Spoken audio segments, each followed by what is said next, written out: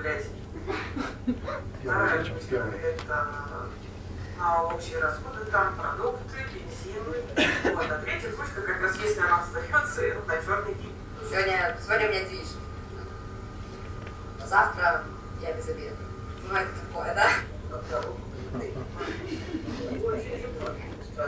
А 700 тысяч? Ну, что это? возврат 700 тысяч снимает а, сумму шатель. А если этом есть, то есть вообще ничего не возвращается.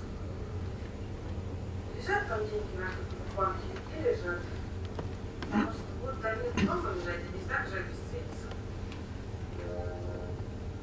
Сначала, когда мы только повели с карточек, мне было так страшно вводить код. Мне казалось, что все, вся очередь смотрит, и или у меня... Я проверяла карточки день по три раза. И вот ну, я не пойду проверить. Я говорю, что банкомат не снял. Просто много его сборов, столько много стало богатых людей, что вот откуда берется. Поэтому я не доверяю некоторым банкам. Может быть, действительно там вот такие ушлые работают. И даже не знаю, как правильно даже нет денег. Я говорят, получаюсь страховочку чек. Вот мое поколение, как мне кажется, это люди, которые привыкли работать с людьми и общаться с телефону. Я вас переключу, ты объясняешь проблему. Я вас переключу, ты объясняешь проблему. Я вас переключу, и, и извините, связь прервалась. Ключевые Просто хотят дать как небольшой сказали, как тебе обслужили, как тебе все преподнесли. Это так же, как сам потом составить это просто чаевые. Чем проще система, тем быстрее ее понимаешь и начинаешь им пользоваться. Банальный случай, я через недавно была детский питание. Там, где насчитал пять лишних для меня операций. И когда я пришла к платежу, чтобы просто вставить в банкомат на доллару, я поняла, что мы пришла. И раз Ну, сбрались. Это все равно всегда приятно. Нужен алгоритм более понятный для простого бумага. Не проблема была пользоваться, а именно простого, тупого обывателя. Все понятно.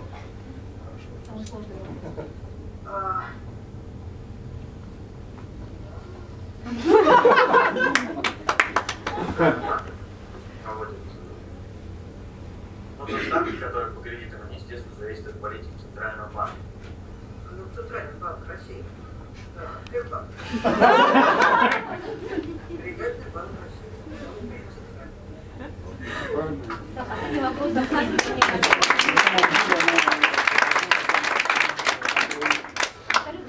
абсолютно людей вводил в стресс, а, и, а, и количество исследований также показывает, что ну, вообще знание, то, что Центральный банк регулирует финансовые рынки, около 20% взрослого населения это могут подтвердить, причем на втором месте Сбербанк. Это действительно количественными данными также подтверждается. На страховом рынке повезло Росгостраху, на рынке платежных услуг Мастеркард и Киви. Ну, как в качестве регулятора, с точки зрения, с точки зрения потребителей. Спасибо. Давайте еще раз поблагодарим Гюзель. Всегда есть такой самый главный вот, правильный вопрос задать вовремя. Я думаю, что вы показывали коллегам из от регуляторов. Да, конечно. Им нужно развивать про- про- промоушены на А у своей нас сейчас целая программа по популяризации среди населения, так что... Спасибо. Владимир, вам слово, потому что на ваши цифры ссылались, и поэтому сделан такой подводку. Спасибо, Булат. Но Булат еще не сказал, что я взял на себя соцобязательство уложиться в 8 минут. Добрый день, коллеги. На самом деле я хочу Первое – это то, что э, э, вы можете использовать э, э, данные Национального бюро кредитных историй в своих маркетинговых целях. Это первое. Второе – это вам ничего микрофон можно а, Это первое. Первое – это то, что вы можете использовать данные Национального бюро кредитных историй в своих маркетинговых целях. И второе – это то, что это вам ничего не будет стоить, потому что все эти данные получает ваш риск-менеджер, либо департамент по э, взысканию, и вам достаточно просто подойти к ним и э, получить эти данные использовать их в маркетинге. Э, мысль номер ноль. Мы говорим о том, что розничный, банковское розничное кредитование пришло в новую стадию. Вот этот слайд показывает на то, как сократились темпы розничного кредитования, и все время сокращались в первом квартале 2015 года. Там вообще ну, серьезное падение. При этом просроченная задолженность, доля просроченной задолженности в портфелях растет, особенно по необеспеченным видам кредитования индекс кредитного здоровья снижается. Эм, э, смысл всех этих трех слайдов в том, что эм, розничное банковское кредитование действительно вступает в э, новую реальность, уже вступили, уже вступило, вы это э, очевидно ощущаете. Вот. И если раньше мы работали на, в основном ориентируясь на входящий поток, то есть вы каким-то образом там изучали потенциальную аудиторию, давали э, под нее рекламу, эти люди приходили к вам, риск менеджер это оценивал, э, выдавали кредит. Сейчас все не так. Сейчас у нас есть уже э, э, минимальный входящий поток, у нас э, есть э, накопленная клиентская база, так или иначе, и, э, у нас э, существенная доля этой клиентской базы проблемная. Вот, э, поэтому, собственно, вот, э, видение со стороны э, риск-менеджмента это то, что э, сегмент усилия розничного кредитования с входящего потока э, смещается в сторону развития клиентской базы уже существующей.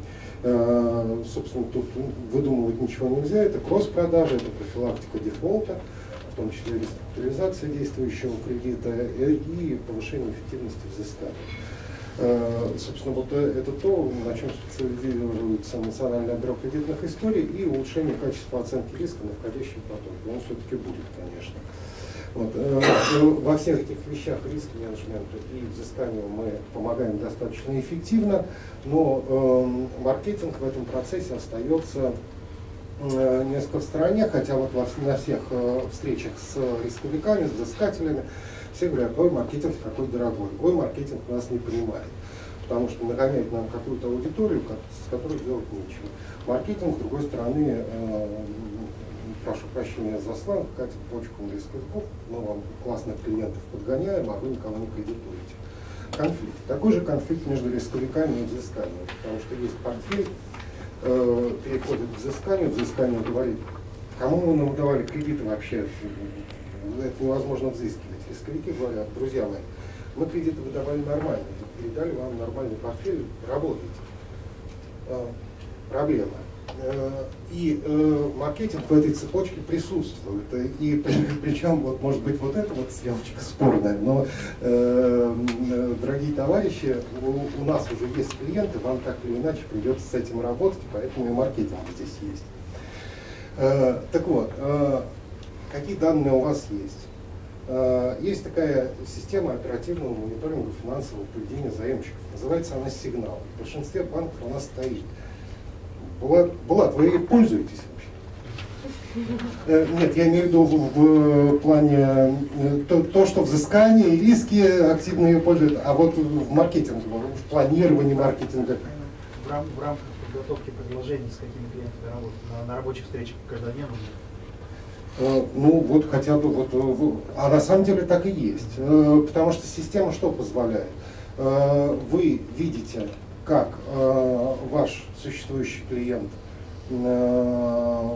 какие-либо действия совершает в отношении кредитных обязательств других кредиторов, и на основании полученного сигнала принимаете какое-то решение. Ну вот простой пример какой продукт кому предложить. Общепринятая сейчас ситуация в банке. Есть э, клиентская база, мы сделали ее мониторинг, поисковики кого-то одобрили, и вот мы сейчас решили, продвигаем кредитную карту с таким-то лимитом, условно говоря. И по всему списку эту смс отправили, либо звонки, либо письма. Отклик, понятно, какой. Э, в лучшем случае что мы можем сделать? Мы можем Эм, э, на основании пре-скоринга, пре-мониторинга разбить этих э, клиентов по возможностям и э, им уже отправлять специализированные предложения уже не таким более точечно. Э, отклик, можно предположить, будет лучше. Но если мы будем учитывать предпочтения собственных клиентов, которые мы очень хорошо понимаем на основании сигнала, то есть человек, смотрите, он э, запрашивает э, э, ипотечный кредит в каком-то банке. Вы это видите сразу же, в этот же день. И вы отправляете ему предложение по ипотечному кредиту. Ну, можно предположить, какой будет отклик. Ну, существенно выше, если это пойдет человеку, который даже не думает про ипотечный кредит. Э, это как раз подтверждает э, тезис Гузели о том, что, ну, точнее не ее, а результаты исследования о том, что клиенты выбирают, э, принимают решения на основе первого отклика и, собственно, да. Э, это мы говорили о персонализированной информации, которая поможет непосредственно в коммуникациях с клиентами. Второй важный момент это, э, это возможность э, э, оценки эффективности каналов. Тоже ваш риск и получают э, так называемые бенчмаркинг отчеты. Э, когда вы э, понимаете собственный портфель, в различных разрезах и понимаете аналогичные цифры по конкурентной группе, которую, выбирают, которую вы выбираете.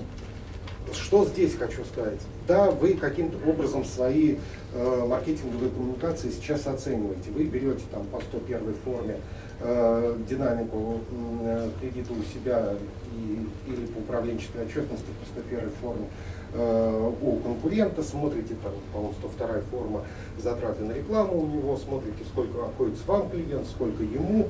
Э, Все хорошо, но эти формы не показывают разбитие по э, типам кредита. По регионам вы не увидите, а коммуникации могут быть разные.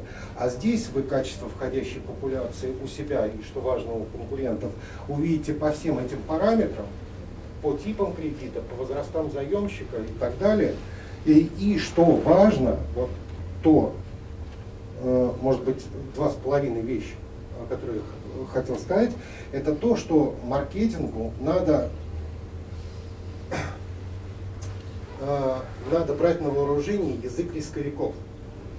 Э, а именно э, оперировать не только стоимостью там, клиента, но и стоимостью клиента с учетом риска.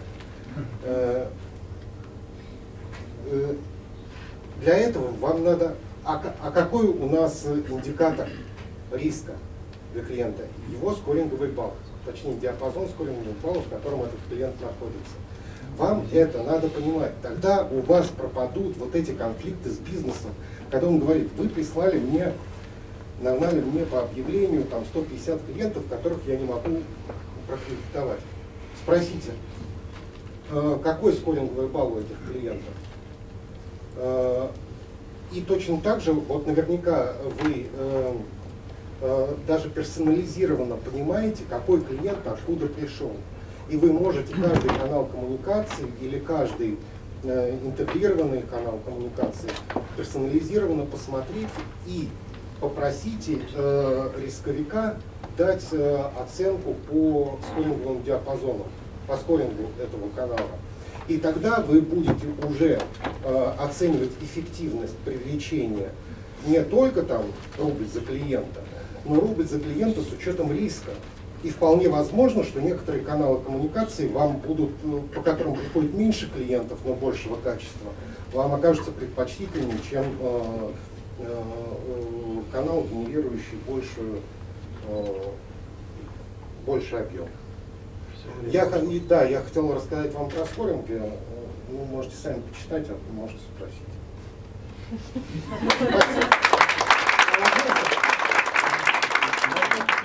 Настоящий маркетолог сказал, что будет 8 минут. Мы порадовались, а было реально 10 минут, как обычно, как у всех. Вопросы? Мне кажется, либо та часть зала у нас засыпает от недостатка кислорода. Ну, спасибо. Если что, контакты есть. Да, контакты есть. Контакты еще раз. А вы презентацию можете сделать? Презентация будет доступна. Пожалуйста, Владимир достаточно хорошо известен. Владимир, а как информация по клиентам, а, по которым есть запрос в бюро, а, может передаваться в банк а,